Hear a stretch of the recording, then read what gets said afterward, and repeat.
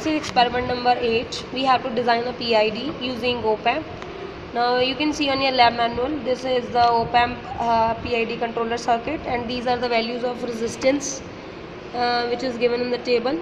We have to select these values and then we have to prepare the circuit for this PID OPAMP circuit. Now we have to need uh, one breadboard and square wave from function generator and then we have to see the output at CRO this is CRO now we will connect the circuit. Now you can see on the breadboard there are four op amps uh, that is uh, 741 their op amp circuit is there. We have to connect all these as they are connected in the circuit diagram. Got it? Now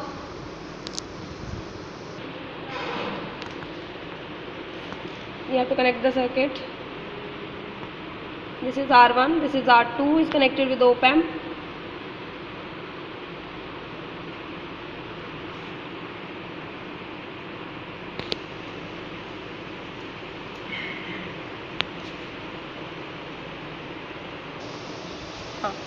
Op amp is 7 pin that is starting from this side 1 2 3 4 and this is 6 7 8 uh, this is 4 and 4 8 pin we never used. Uh, we have to connect a positive supply to the 7th each op amp. So we connect here this 7th to the next 7th and next 7th of the pin this to the next one.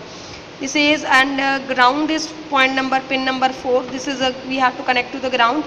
And we have to connect this ground to the next op amp ground the next to next here. Here you can see.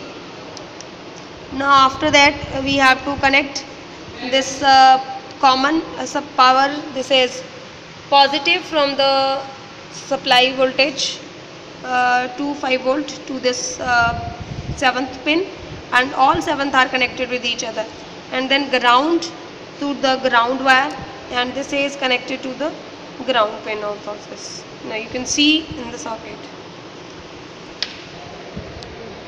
ठीक है ma'am जारी next. we have to connect uh, this pin number 3 to the ground. Now you can see here.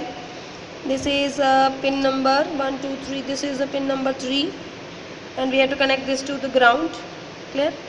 And output uh, we take from pin number uh, 6 and input to give a pin number 2 got it? So as they are connected in the circuit diagram we have to connect. This is a pin number 6 and this is pin number 2 we connect from 6 to 2 now you can see here this is 6 6 to 2 we have to connect of this. This is a 2 point. Now this yellow wire is you can see.